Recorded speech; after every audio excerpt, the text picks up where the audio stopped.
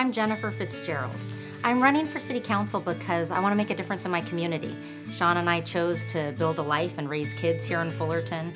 Because it's such a great community. I mean, we've got great parks and great schools, we have great people and a rich history. And we've been heartbroken over the last year about stuff that's gone on in Fullerton. And so I'm running to make a positive difference. I love Fullerton's unique character and its quirky personality. I love the downtown. Of course, I've got two young kids, so I love the parks and the schools. Uh, there's so much to love about Fullerton. I mean, we're the education community, so if you're looking to raise kids, this is the place to come. The key attributes I'm going to bring to council if I'm elected are a sense of commitment. I'm in it for the long haul. Sean and I chose this community as the place to build our lives, so we're going to be here for a long time, and I have a long-term perspective on the way I think, you know, Fullerton should be because I want my kids to inherit a great community.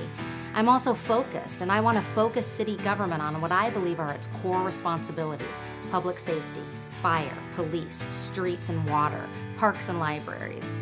I've had a lot of experiences that I think really prepare me for being on City Council. I've been on the Planning Commission here in Fullerton. I served on the General Plan Advisory Committee.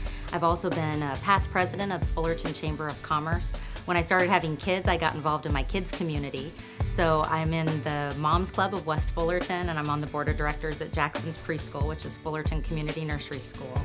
And we're very involved in leadership in our church, which is EV Free Fullerton. We're adult fellowship presidents there. We get involved in our community and in our kids' community because we're volunteers. That's what we do. We always have taught our kids that you need to be involved in your community. Sean and I have always gotten involved in, um, in our community, and so me running for council is just another lesson we're trying to teach our kids that even when you have to sacrifice, you have to be involved, you have to be part of the solution. My four-year-old loves knocking on doors with me. Uh, in fact, he often asks, Mommy, can we go knock on some more doors? And he literally goes up to the door, knocks on the door, and wears his cute little Vote For Me t-shirt.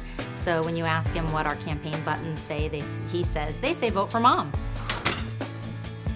As your city council member, I'll fight to ensure that we leave our kids a Fullerton that's strong and stable. I'm Jennifer Fitzgerald, a strong voice for Fullerton.